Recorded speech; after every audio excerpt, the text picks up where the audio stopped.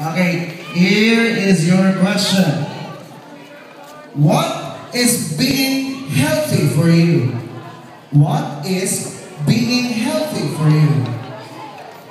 Being healthy means feeling fit, strong, and confident. Wow. Short but sweet answer. Thank you very much.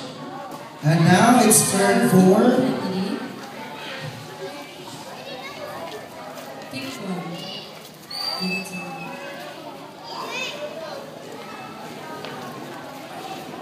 the question goes like this. Why is exercise needed for a healthy living? Again, why is exercise needed for, for a healthy living? Exercise is needed for a healthy living because it makes our mind and body active, fit, and healthy. Thank you so much. Thank you so much, 3. Oh, congratulations. Thank you, may now go back to your places.